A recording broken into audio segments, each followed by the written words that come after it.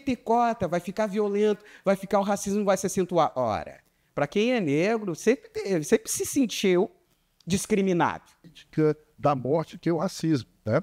Daí nós estamos falando do movimento negro. Então, quando o movimento negro propõe é, como alternativa de democratizar o país, né, apresentando essas políticas afirmativas, ele está buscando aí, nesse sentido, né, amenizar, porque isso apenas não, é, não, é, não vai resolver o problema, mas amenizar essa violência praticada, produzida né, por esse sistema de poder, que beneficia um pequeno grupo também racializado, que é a população branca.